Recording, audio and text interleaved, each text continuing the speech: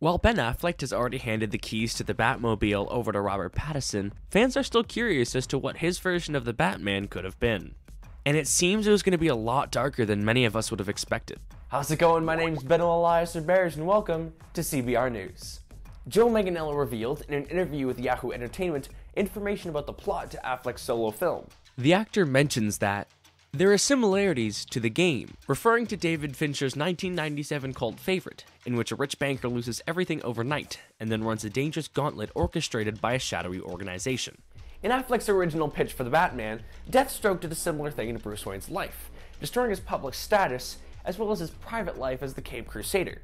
Manganiello said that it was a really dark story in which Deathstroke was like a shark or a horror movie villain that was dismantling Bruce's life from the inside out. It was the systemic thing.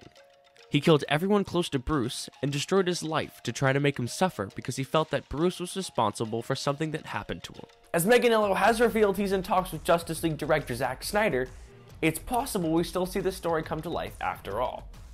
Once again, my name is Beno Elias Bears, and be sure to check out CBR.com, the go-to place for comic book and superhero movie fans.